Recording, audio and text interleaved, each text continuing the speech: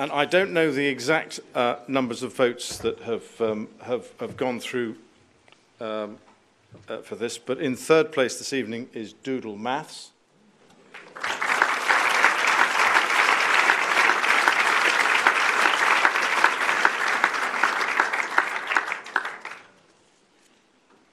Have you got your wand with you?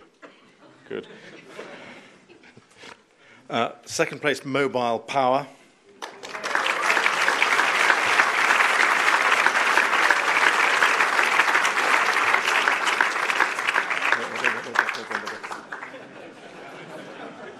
I'll come to you in a moment because I've got some things to give you. Uh, uh, and in first place, by some margin, Drenched.